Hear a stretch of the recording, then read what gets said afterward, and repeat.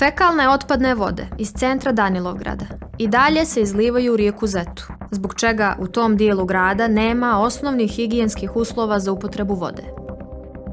Iako je prošlo već 12 godina od kad je opština Danilovgrad dobila kredit za projekat izgradnje postrojenja za prečišćavanje otpadnih voda, predsjednik opštine na pitanje kada će postrojenje biti izgrađeno odgovara. Pa to je pitanje od milijon dolara. Vodovod i kanalizacija.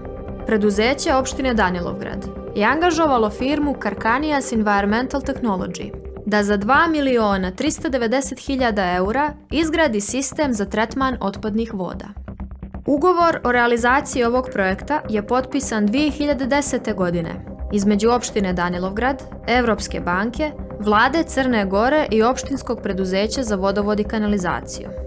Ipak, ovo postrojenje još nije izgrađeno pa se fekalne otpadne vode i dalje izlivaju u rijeku Zetu. Postrojenje nije izgrađeno, ali 478.000 eura je potrošeno. A, taj projekat je potpisan, ali još se nije ušlo njegovu realizaciju.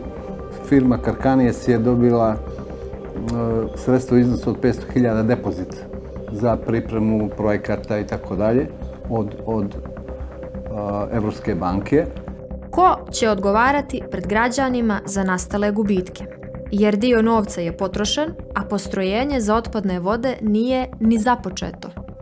Odluka je donošena koja je donošena. To je donijela 42. vlada, zaključkom na vladu, kasnije odlukom da ta lokacija koja je u projektu, koja je bila određena kao lanča za izgradnju postrojenja, više nije aktivna, samim tim nije ni ugovor produžen, tako da su obustavljene sredstva Europske banke vezano za ova dva druga segmenta. Ali ko su ljudi iz opštine koji su pratili ovaj projekat?